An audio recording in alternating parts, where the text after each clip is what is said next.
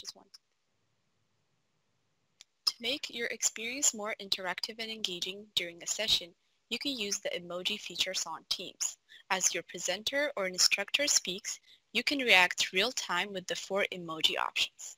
This way, the presenter is able to figure out the atmosphere of the virtual session regardless of your video being on or off. In order to be able to view this option, there needs to be three or more people in the meeting. To use this feature, click on the emojis with hands raised at the top of the corner of your screen. As you can see, there are a few different options.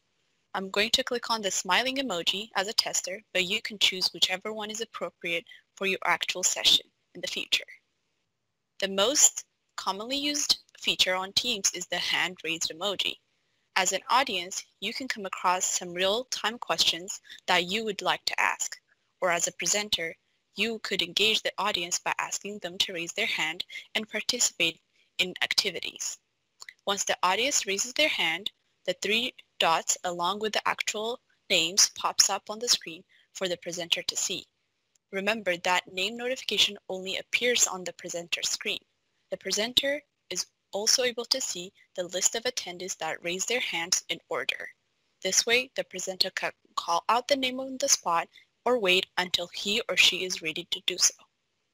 One feature a presenter may not be aware of is the unraised hand option. This option can help the presenter keep track of the cues of who is going to speak next and unraise their hands of those who has already spoken. Another feature you can use during Teams meeting is the microphone and camera buttons. They're found at the top right corner.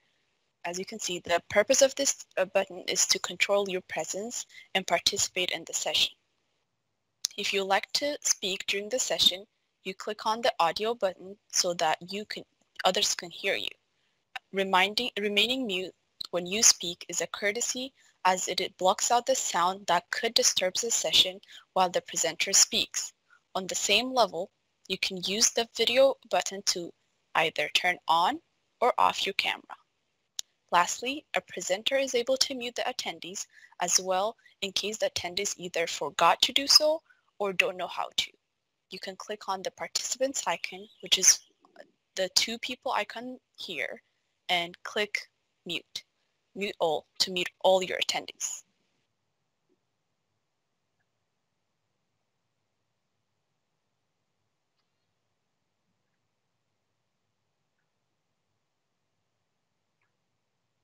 Okay, fantastic. I, I'm stopping the recording.